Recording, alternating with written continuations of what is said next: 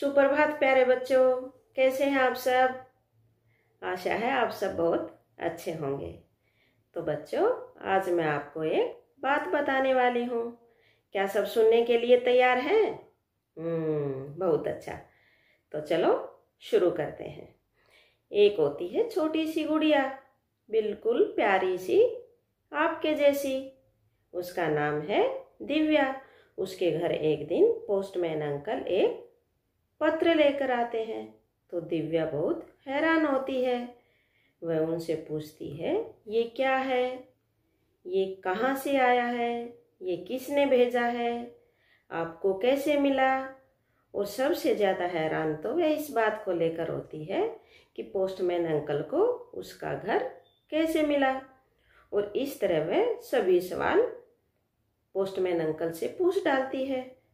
वे दिव्या से कुछ सवालों के जवाब देते हैं और बाकी सवाल पूछने के लिए उसकी मैम का पता बता देते हैं कि ये सवाल जाके अपनी मैम से पूछना। तो प्यारे बच्चों, आज मैं दिव्या के साथ साथ आपको भी बताती हूँ चिट्ठी का सफ़र। तो चलो, शुरू करते हैं चिट्ठी का सफ़र। तो प्यारे बच्चों, इसके लिए सबसे पहले हम चिट्ठी को लिखते हैं और लिखने के लिए पत्र के बाई तरफ़ सबसे पहले संबोधन लिखते हैं। संबोधन भी अलग अलग होता है। बड़ों के लिए अलग, बराबर वालों के अलग और छोटों के लिए अलग। जैसे बड़ों के लिए आदरणीय, पूजनीय और बराबर वालों के लिए प्रिय, प्यारे इत्यादि। उसके बाद बच्चों, जो कुछ भी हमारे मन में आता है, वो हम चिट्ठी में लिख देते हैं। उसके बाद करते हैं पत्र का समापन। समापन में भी संबोधन की तरह अलग अलग बातें होती हैं, जिसके पास हम चिट्ठी लिख रहे हैं, उससे हमारा रिश्ता क्या है, इस पर ये निर्भर करता है। जैसे मित्र के पास चिट्ठी लिख रहे हैं तो लिखेंगे, तुम्हारा मित्र।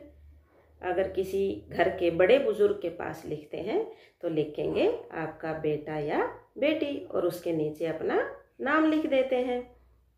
तो प्यारे बच्चों, इस प्रकार हम चिट्ठी लिखते हैं। उसके बाद सबसे महत्वपूर्ण बात, चिट्ठी के ऊपर सामने की तरफ़ लिखते हैं पता। और पता वहाँ का लिखते हैं जहाँ हमें चिट्ठी को पहुँचाना होता है। और उसके बाद लिफाफे को बंद करके डाकघर में एक लाल रंग का डिब्बा होता है, उसमें डाल देते हैं, जिसको हम लेटर बॉक्स बोलते हैं। और इसके बाद, प्यारे बच्चों, वहाँ से पोस्टमैन उन सभी पत्रों को निकाल लेते हैं और फिर होता है अलग अलग स्थानों के हिसाब से पत्रों की छटाई का काम। स्थान के हिसाब से उन पत्रों को अलग अलग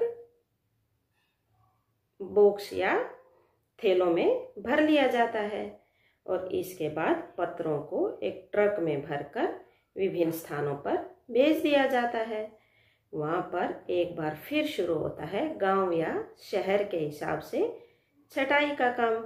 अलग अलग स्थानों के पत्र अलग अलग कर लिए जाते हैं और फिर वही पोस्टमैन अंकल जो दिव्या की चिट्ठी लेकर आया था, वही हमारे पत्रों को लेकर हम तक पहुँचा देता है।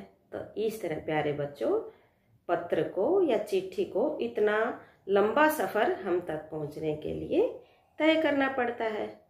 अब आपने देखा, दिव्या को भी सभी बातें समझ में आ गई थी और दिव्या रहती है अपने मम्मी पापा के साथ और उसके दादा दादी रहते हैं गाँव में और दिव्या अब की बार गर्मी की छुट्टियों में अपने बुआ जी के घर गई है। वहाँ कुछ दिनों के बाद उसे अपने पिताजी की बहुत याद आई। आपको भी याद आती है ना?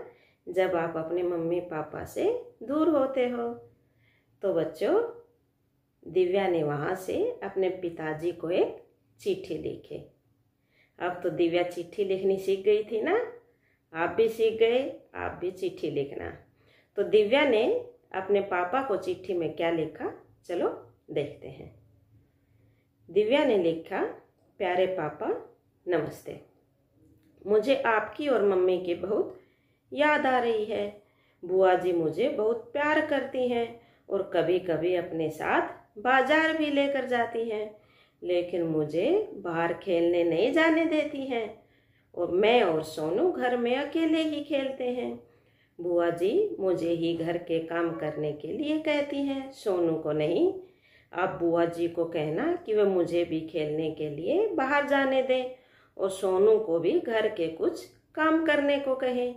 सोनू ने मेरी वह गेंद गुम कर दी, जो मम्मी ने मुझे पिछले जन्मदिन जन्मदिन पर दी थी। मेरा जो दांत टूट गया था, उसकी जगह अब नया दांत निकलने लगा है। पापा, अब तो हमारी गाय का बछड़ा भी खूब उछल कूद करता होगा।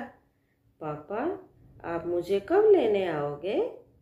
आते समय आप मेरे और सोनू भैया के लिए चाबी वाली कार, पटरी वाली रेल, ताली बजाने वाला बंदर और ढेर सारे खिलौने लेकर आना आपकी बेटी दिव्या।